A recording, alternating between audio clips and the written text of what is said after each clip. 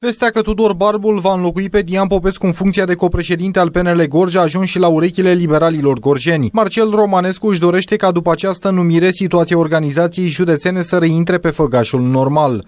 Atâta timp cât este o decizie sau se pare că este o decizie a Biroului Permanent Național, nu există comentarii. Îl așteptăm uh, pe domnul Barbu în organizația de la Gorj să vedem care este strategia dânsului pentru alegerile locale și pentru noua reorganizare în, în cadrul Partidului Național Liberal. Copreședintele PNL Gorj, Dan Vâlceanu, unul dintre liberalii care au cerut vehement ca statutul să fie aplicat și implicit Dian Popescu să fie suspendat din funcție, a vorbit pentru TV Sud despre schimbarea din organizația județeană.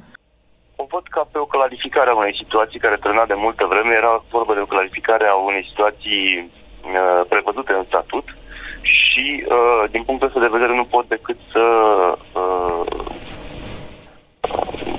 cred că de acum încolo, având în vedere că uh, este vorba de un copreședinte, cel puțin din putere statutar uh, valid, uh, lucrurile se vor îmbunătăți în organizație. Dian Popescu nu a putut fi contactat telefonic pentru a comenta înlocuirea sa cu Tudor Barbu.